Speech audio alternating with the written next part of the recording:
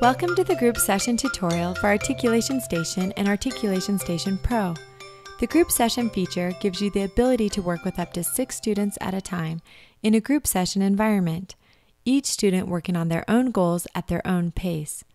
To access group sessions, go to the data screen and tap on the group session button at the bottom of the screen.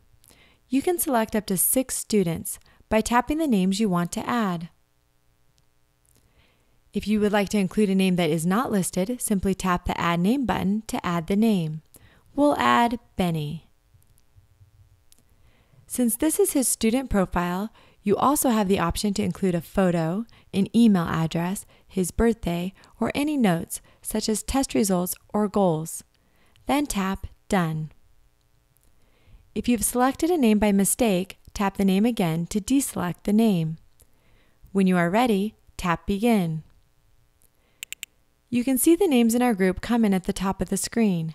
To get started, just tap the name you want to start with. Next, select the activity you want to practice. Let's do B, words, flashcards, initial, begin. Score the activity just as you would any activity in the app.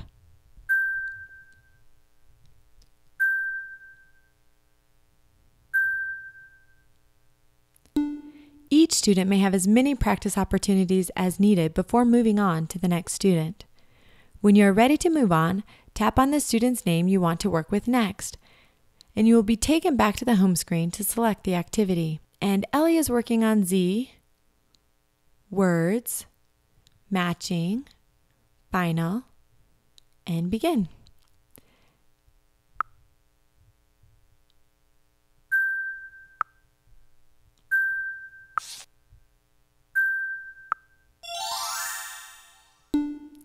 Now let's give Benny a turn. We'll have him do the TH, stories, level 1, medial, voice TH, and begin. Heather and her brothers play in the nice weather. When Benny's turn is up, go back to Annie and you can see the activity she was working on was paused exactly where we left off.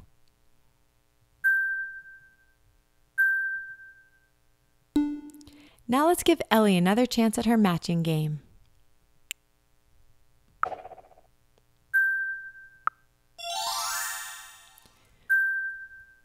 When all the students have completed their activities, go back to the home screen and tap Done.